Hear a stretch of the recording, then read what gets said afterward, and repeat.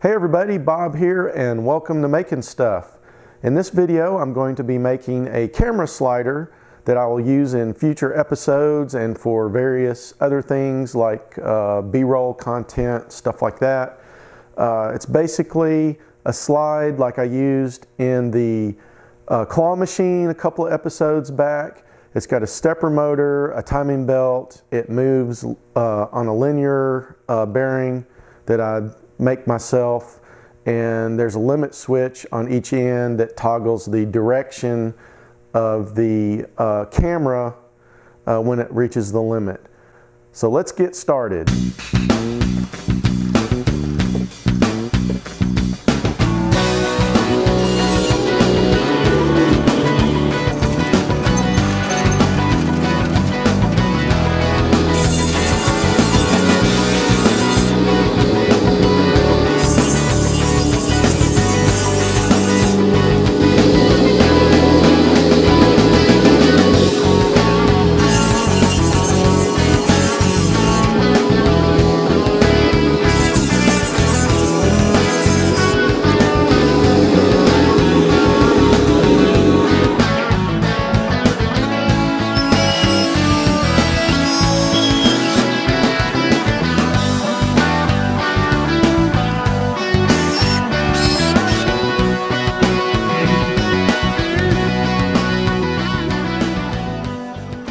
Okay, so I just want to pause here for a second and show you guys what I'm going to do here. And this next segment, I'm going to be cutting the uh, groove to mount these bearings. And this is just a roller skate bearing. Uh, there's four of them on there. It's mounted on the same three quarter angled aluminum. This is the same bearing in the claw machine, same type of bearing. Uh, you can look in that video, see how I used it there. It's a little bit different. But uh, I know from previous experience that this edge to this edge needs to be 0.825 inches. And you're probably wondering, how on earth do I get 0.825 inch cut with a table saw? And the answer is this right here. This is a dial indicator. I've got it mounted on uh, two little pieces of plywood that I've got here. And there's a magnet on the bottom. I got this off a CB antenna from a yard sale, I think, just somewhere a long time ago. Uh, and what I do is you just put this on here and you zero it out. And once you've got it zeroed out, you can go through here. I'm gonna make my first cut, then I'm gonna flip it around, make the cut again on the other side. Then I'm gonna move this this direction 0.825 according to this dial indicator. Now, this dial indicator will go up to a thousandth of an inch. It's very accurate. This is a very accurate way of making this cut. Then once I've moved my fence over, I'll do a second pass on both ends of the board, and then that's going to give me uh, a parallel groove like this in my work in my workpiece. Now this is a lot easier than cutting the board to length and then trying to get this groove, this parallel cut, exactly in the center. It's easier to make your groove first and then trim the board to length. So hopefully this will all make sense. If not, uh, watch the video and it should make sense then.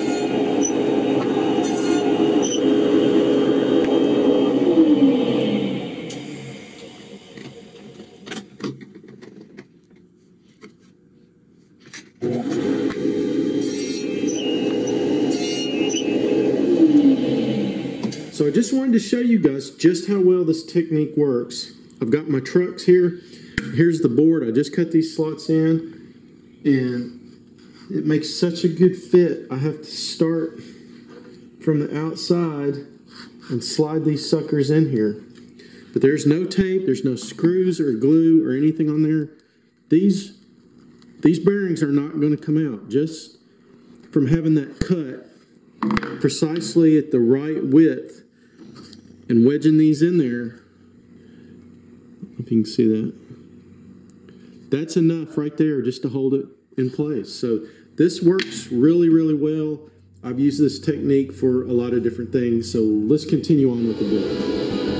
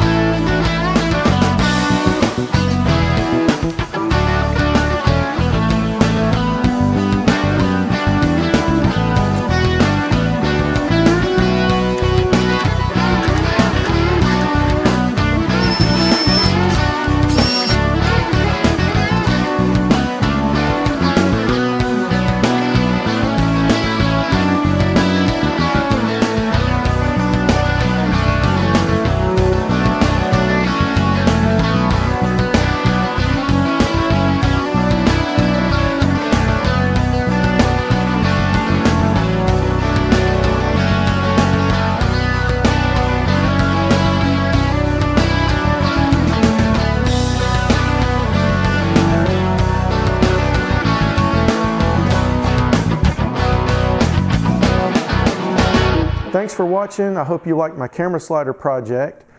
One thing I'd like to point out is this one is a little bit noisy. And I think the problem is the 3D printed uh, pulleys that I made.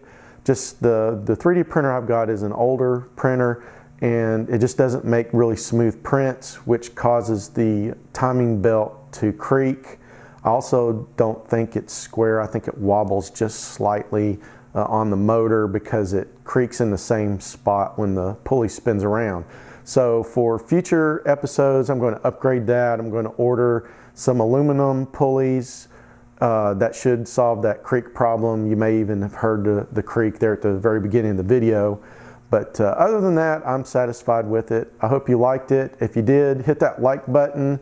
Be sure and subscribe, and thanks for watching.